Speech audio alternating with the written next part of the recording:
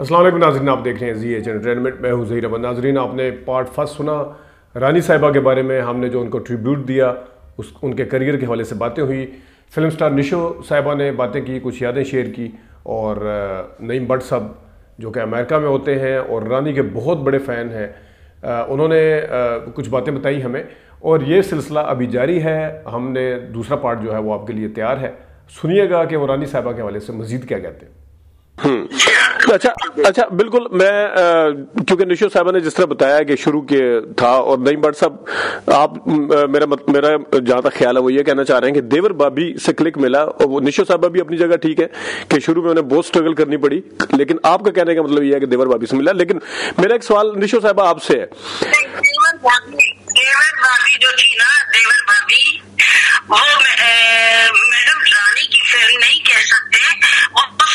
सबिया खान वही मुराद की फ़िल्म थी टाइटल उनका था वो एक रिवायती हीरोइन की तरह थी उसमें। जी बिल्कुल। जिस तरह दीबा जिस तरह दीबा अंजुमन में थी। जी, जी, अच्छा। तो असल जी जी वो उस वक्त क्लिक नहीं किया था उन्होंने। हम्म। वो उसके बाद बहुत स्ट्रगल करनी बड़ी बड़ी मेहनत की उन्होंने। जी इसमें कोई शक नहीं। इसमें वो भूल गई मैं भूल गई हूँ वो भी उन पर गाना हुआ। उससे भी पंजाबी फ़िल्मों में थोड़ा सा वो। उन्होंने आगे आई। लेकिन अंजुमन की बात तो फिर उन्हें कोई टच नहीं कर सका ना। निशा साहबा निशा साहबा सॉरी मैं आपकी बात काट रहा हूँ। मैं आपकी बात सौ फ़ीसद मानता हूँ।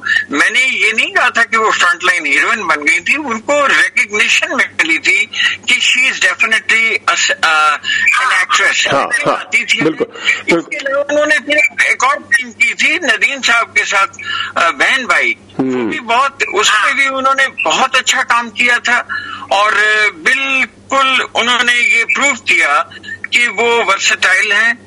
लेकिन आपकी बात बिल्कुल मुनासिब है और मैं बिल्कुल कहता हूँ कि जो मूवी थी अंजुमन वो जो थी ना दैट वाज द थिंग कि जिसने उनको वाकई में फ्रंट लाइन हीरोइन जैसे कहते हैं बना दिया था हम्म। और उसके बाद जो उनकी नेक्स्ट फ़िल्में आई बहुत फ़िल्में आई बारो फूल बरसा बहुत ज़बरदस्त फ़िल्म थी फिर उनकी शायद साहब के साथ वो फ़िल्म आई जो उमराव जान अदा जिसमें शायद साहब का रोल कोई वो नहीं था डोमिनेंट रोल और ये उन्होंने शायद रीत रखी हम्म। रानी साहबा ने कि कि हीरोइन डोमिनेटेड मूवीज़ उन्होंने ये बात ठीक है। इंडिया में बनी है। ये बात ठीक है और ये ये क्रेडिट भी मेरे ख्याल में आ, मैं अगर गलत नहीं हूँ तो मैक्सिमम जो टाइटल किरदार किए हैं हीरोइना के हिसाब से देखा जाए तो वो रानी साहब उसमें सरफहरिस्त है मेरे ख्याल में। बिल्कुल। हम्म। अच्छा निशो साहबा निशो साहबा, एक एक सवाल मेरा आपसे है। वो ये कि आपने देखा होगा कि अक्सर मतलब एक कंफर्ट लेवल भी होता है वो तो उनके बाद में शोर भी थे, हसन तारिक साहब, हसन तारिक साहब ने उनको पॉलिश भी किया जिसने अभी ग्रूम किया, अभी जिसने बात भी हुई है। लेकिन ये मुझे बताइएगा कि हसन तारिक साहब की अगर आप फ़िल्में उठाए ना अंजुमन देख लें, उमराव जानदा देख लें, तहजीब देख लें, एक बेगम जान को छोड़ के सुरैया भोपाली देख लें, सीता मरियम देख लें मतलब ये उनके किरदार की जो शेड्स है ना, वो सारी फ़िल्मों में अदर देन बेगम जान। बेगम जान जो कि नींद नींद फ़िल्म का चरबा मतलब चरबा नहीं कहना चाहिए कॉपी कहना चाहिए। नींद फ़िल्म को दोबारा उन्होंने बनाया रीमेक किया, हसन तारिक ने। लेकिन बेगम जान के अलावा हसन तारिक साहब ने उनको एक जैसे किरदार दिए। ज़्यादातर उन्हें त्वाइफ या नेगेटिव वो मॉड शॉट जिस तरह तहजीब में हम तो आपको नहीं लगता था कि हसन तारिक साहब के अलावा भी उनको फ़िल्मों में काम करना चाहिए था? जबकि उस जमाने में लॉबी भी थी, जो चाहती थी कि हमारे साथ काम करें लेकिन जब उनकी अलहदगी तक हसन तारिक साहब के साथ ही वो जुड़ी रही इससे उनके करियर को जहाँ फ़ायदा हुआ ग्रूम किया वहाँ मेरे ख्याल में जो बाद में अलहदगी के बाद जो उनको किरदार मिले हैं वो कभी ना मिलते अगर अलहदगी ना होती तो आप समझती हैं कि हसन तारिक के अलावा उन्हें दूसरे बैनर्स के नीचे भी काम करना चाहिए था जब अपने अरूज पे थी थी हसन तारिक ने उन पर बहुत मेहनत की हम्म। और वो भी मेहनत मतलब दोनों ने एक टीम वर्क उन्होंने मेहनत की इन्होंने भी साथ मिलके दोनों ने मेहनत की और दोनों का अच्छा रिज़ल्ट हुआ। हम्म। और बाकी तो फिर ये एक इतना बड़ा एक ब्रांड जैसे एक ब्रांडेड चीज़ होती है ना एक फ्रंट लाइन हीरोइन बन गई फिर तो हर कोई चाहता था कि इनको कास्ट करे। हम्म। लेकिन जो असल एफर्ट की है वो हसन तारीख वो बात ठीक है। ये तो मैं मानते जी और फ़िल्मों में काम किया लेकिन वो उतनी हिट फ़िल्में मेरा ख्याल है ईश्वर साहब मैं आपकी बात एक दफ़ा फिर माजरत से काट रहा हूँ। देखिए मुझे ये भी लगता है और शायद ये किसी हद तक बात दुरुस्त भी है कि हसन तारिक साहब ने ये एक नेचर होती है। इंडिया में भी ऐसा है वो एक अपना बना लेते हैं कॉन्ट्रैक्ट सा उनका हो जाता है हीरोइंस के साथ। उन्होंने उन पर्पसली उनको काम नहीं करने दिया और डायरेक्टर्स के साथ और वो किसी हद तक परेशान भी थी लेकिन शी हैड नो चॉइस लेकिन उसका एक और बड़ा ज़बरदस्त सबूत है कि जब उनकी डिवोर्स हो गई और जब वो में फ़िल्म परख बनी तो आप देखें परख में शी वॉज़ सिंपली आउटस्टैंडिंग वो हसन तक साहब की फ़िल्म नहीं थी। तो बाद में जब वो आज़ाद हुई है तो, तो उन्होंने फ़िल्में की हैं जो कि बहुत अच्छी है लेकिन ये बात सही है कि उनको चाहिए उनको बांधा हुआ था। हम्म। मैं मैं क्रेडिट भी उन्हें ही देता हूँ हसन तारिक साहब बहुत क्रेडिट भी है अगर वो उनकी उन्होंने इस पे, पे बड़ी मेहनत की और उनको एक वेल ग्रोन किया तो इसके साथ वो उनकी बीवी भी तो थी ना हाँ। बहसीत शोहर उनका था कि वो बीवी पे पाबंदी लगा सकते बिल्कुल आप ठीक है बिल्कुल उनका शरय तो मैं सारे हकूक जो होते हैं जो डिमांड होती है वो यही होती है ना खामद शरई कहलाती है ना जब थोड़ा थोड़ा सा सेल्फलेस होना चाहिए। मैं समझता हूँ कि उनको जाया किया गया। अगर कोई कोई भी इतनी सेल्फिश नहीं होती कि काम की खातिर अपना घर खराब कर ले। और उन्होंने बतौर अच्छी एक्ट्रेस तो थी top class actress well groomed actress लेकिन मैं समझती हूँ कि वो एक वफादार बीवी भी थी जिसकी एज कंपेयर टू एक्ट्रेस बहुत बड़ा मकान होता है एक अच्छी बीवी का and she was a very good wife और बड़ा घरेलूपन और अपने बच्चों से अच्छी से प्यार किया।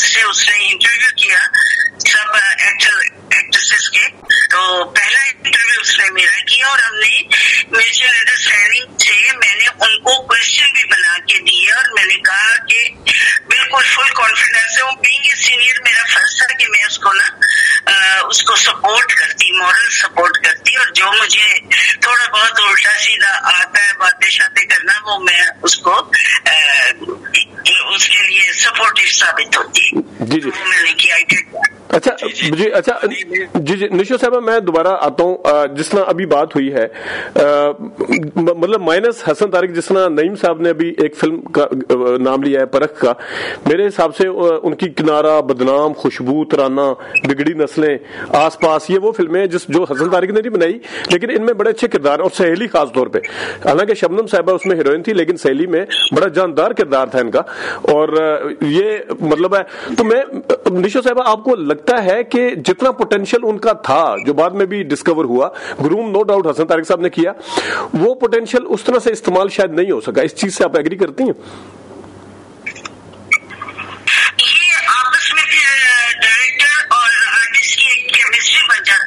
जी जी एक इदारे में काम करते करते जो केमिस्ट्री डेवलप होती है वो बड़ी सपोर्टिव होती है हम्म। दोनों के लिए उनको भी वैसी हीरोइन नहीं मिल सकी और इनको भी उतने अच्छे डायरेक्टर नहीं मिल सके तो क्योंकि मियाँ बीवी की जो अंडरस्टैंडिंग थी वो जस्ट लाइक फैमिली और फैमिली में जो मिलकर बिज़नेस किया जाता है वो ज़्यादातर सक्सेसफुल होता है हम्म, हम्म। जी हाँ। ये बात ठीक है। और अब जिस तरह आपने बताया ना कि हीरोइन नहीं मिल सकी या हीरो इनको भी उस तरह का डायरेक्टर मेरे ख्याल में रानी साहबा को डायरेक्टर मिल गए थे, उनको हीरोइन पता नहीं मिली या नहीं मिली, लेकिन लेकिन, एक फ़िल्म थी संगदिल जो कि हसन तारिक साहब ने बनाई थी और वो, उनके डाइवोर्स के बाद हुई।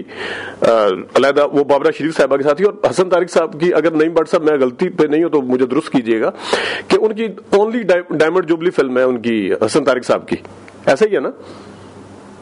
नहीं नहीं वो जो है ये जो मूवी है तहसीब ये तहसीब तहसीब भी है और वो अंजुमन जो है दैट इज़ प्लेटिनम जुबली नहीं नहीं लेकिन संगदिल डायमंड जो चले खैर ये एक अलग अलग बहस है। अच्छा निशो साहबा आपको वैसे जाती तौर पे कौन सी फ़िल्म पसंद है उनकी? आप मुझसे पूछ निशो साहबा से निशो साहबा आपसे मैं पूछता हूँ अभी। अच्छा अच्छा। जी निशो जी। मैं अपनी फ़िल्मों में बिज़ी लेकिन उनकी फ़िल्म वो कौन सी थी जिसमें इजहार भी मुश्किल है? हाँ हाँ। वो अंजुमन है? अंजुमन ही है ना? जाना था उमराव जाना था यस गाँव जाना था मैंने सिनेमा में जाकर देखी। फिर जब मैंने इंडियन मूवी देखी तो वो जो इमोशंस तारिक साहब ने और जो क्लाइमेट सॉन्ग बनाया है मेरा ख्याल है इंडियन उमराव जाना था बहुत ठंडी ठंडी लगी अच्छा समझ आए हाँ ये बात ठीक है। इंडि, इंडियन इंडियन उम्र जान अदास अगर आप गाने माइनस कर दें। परफॉर्मेंस रानी रानी साहिबा से करवाई गई है। देखा बहुत ग्लैमरस लगी। बड़े बजट की फ़िल्म थी। बहुत अच्छी आर्टिस्ट है वो भी। लेकिन जो जज्बात में एक गर्मी पैदा की और बड़ा इमोशनल सीन किया कि आँसू निकलवा दिया जो सिचुएशन थी कि उनका बच्चा होता है नहीं शादी हो जाती है मैं मिक्स तो नहीं कर रही ये दो दो दो फ़िल्में आप मिक्स कर गई हैं। इजहार भी मुश्किल है वो अंजुमन फ़िल्म का गाना है जो बच्चा था वो लुटाने के लिए आए हैं वो उसका ऐसा ही है ना नईम साहब? बिल्कुल बिल्कुल आप सही फरमा रहे हैं जी एक में तो साइड कर लेती और एक में उनकी शादी हो जाती जी जी। ये दो डिफरेंट फ़िल्में हैं। जी जी जी बिल्कुल बिल्कुल। अच्छा। गुड मूवी और बहुत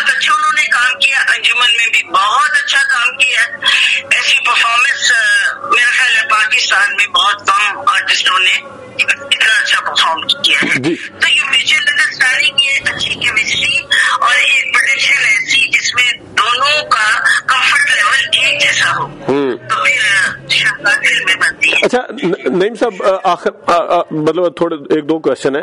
नईम साहब, आप बताइएगा कि अवार्ड के हवाले से मैं निशो साहबा पे बाद में आता हूँ, क्योंकि ये हो सकता है, ये भी कहीं ना कहीं इस चीज़ का निशाना बनी होंगी, ज्यादती जो अवार्ड में होती है। अंजुमन साहिबा रानी साहिबा को रानी साहिबा को अंजुमन में भी अवार्ड नहीं दिया गया, बाद में शायद दिए, पता नहीं इनकी जाती कोई आपस में निगार अवार्ड की अगर मैं बात करूँ, क्योंकि रेगुलर वही होता था बड़े अवार्ड था। तो अवार्ड में उनसे कितनी ज्यादती हुई? बिल्कुल हुई बिल्कुल ज़्यादा हुई। पहले मैं एक बात इससे पहले कि मैं भूल जाऊँ अवार्ड की आपने निशा साहबा से बात की तो मैं समझता हूँ कि एक फ़िल्म थी निशा साहबा की जुबैदा। हाँ। सूरत उससे इनको अ, फि- अ, फ़िल्म फेयर मेरे मुँह से निकलने लगा था। वही जो हम निगार अवार्ड। निगार। निगार। वो उनको डिजर्व करती थी इनको नहीं मिला क्योंकि उसमें पॉलिटिक्स होती है ग्रुप्स हैं जो भी है। लेकिन रानी साहबा को उस पे अंजुमन पे ना देना बहुत बड़ी ज्यादती है। फिर मेरा ख्याल है बारूफूल बारो फूल बरसाव पे भी नहीं दिया और अ, बेशुमार हाँ, उसमें तो वो बहुत डिजर्व करती हाँ। बहुत डिजर्व करती बारो फूल बरसाव बड़ी यूनिक फ़िल्म थी और इतना ज़बरदस्त इनोसेंट उनका रोल है जहाँ पे वो एक एक सीन है अगर आपको वो मिले तो वो लगाएँ जहाँ पे वो वहींद्र साहब एक उनको अ, हार देते हैं। हाँ हाँ बाहर हैं। बाद में बिल्कुल।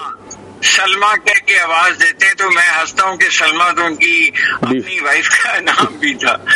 तो बिल्कुल ये आप सही कह रहे हैं। बहुत सी मूवीज़ हैं जो डिजर्व को करती थी और इग्नोर किया गया।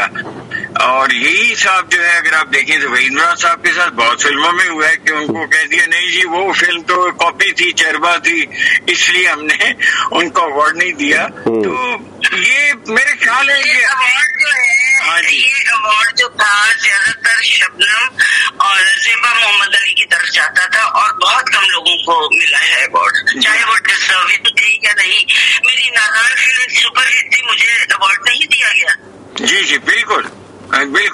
बहुत ज़बरदस्त। लेकिन वो भी वो तो हंड्रेड परसेंट कॉपी थी ना इंडियन मूवी की ये शायद ये लेकिन इन्होंने बाद में कॉपी मूवी को दिया भी है। मैं पहले मेरा मानना यही था कि शायद ये कॉपी फ़िल्मों को नहीं देते। इन्होंने कॉपी फ़िल्मों को दिया है अवार्ड बाद में। जी जी। हाँ। बिल्कुल बिल्कुल। लेकिन ये जो दस्तूर है ना ये मेरे ख्याल है इट्स ऑल ओवर ये इंडिया में भी है। और वहाँ तभी वो जो आमिर खान एक एक्टर है वो तो कहता है मैं जाता ही नहीं हूँ। हाँ। अवार्ड पे हाँ। हालाँकि वो नॉमिनेट भी हो जाए तो वो नहीं जाता वो ही thinks it's it's all about money. अच्छा निशा साहब, मुझे बताइएगा कि कभी आपका दिल किया कि रानी की कोई फ़िल्म आई, रानी ने जो किरदार किया या रानी की जो फ़िल्म हिट हुई, कभी दिल किया होता ना बंदे का? हर किसी का होता है। हो सकता है रानी साहब अभी सबिया खानम या अशमी मरग की फ़िल्मों को देख के कहते होंगे, काश ये वाला किरदार मैं करती। तो कभी इस तरह का दिल किया कि किस, कोई किसी फ़िल्म को देख के दिल किया होगा, मैं ये किरदार करती? कहीं आया कभी ख्वाहिश